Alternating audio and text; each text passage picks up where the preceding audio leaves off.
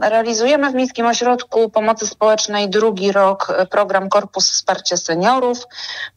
To są te tak zwane popularne opaski bądź przyciski bezpieczeństwa i do tego programu zachęcamy do udziału osoby w wieku 65 plus, przy czym te osoby nie muszą być niepełnosprawne. Może to być każdy, kto ukończył 65 rok życia i również zapraszamy do Ośrodka Pomocy Społecznej do pracowników socjalnych zgodnie z miejscem zamieszkania i można się do tego programu jeszcze zapisać. Mamy takich jakby opasek bezpieczeństwa dla naszych mieszkańców 50 sztuk.